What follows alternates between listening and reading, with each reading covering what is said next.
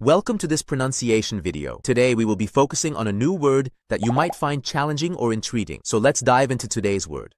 Ferri, which means of containing or involving iron, especially with a valence of 3. Let's say it all together. Ferri. Ferri. Ferri. One more time. Ferri. Ferri. Ferri.